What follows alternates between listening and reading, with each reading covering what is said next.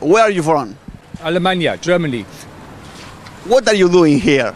Uh, we, uh, we ride and travel by bike to Argentina and Uruguay. With your wife. Yes. Yeah. Now, where you go? Today to Firmat. Firmat, see. And later, San Pedro, Buenos Aires, and then back to Germany. the first time in Argentina. This is unser erster Besuch. Yes, the first time. Primero. Yeah. What do you like? Oh, Argentina is a nice country with many friendly people.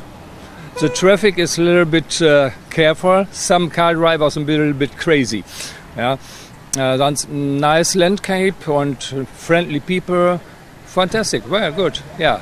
When you finish the travel, Uh, of the end this mo- from this month, around about two weeks. We are uh, staying now three and a half months, and then we go to Germany and have time for the family. And in the summertime, I think we go to Canada for the next travel. Yeah, yeah. uh, with the money, how do you do? We are we are retired. We have time to ride and uh, to Yeah. travel. Yeah.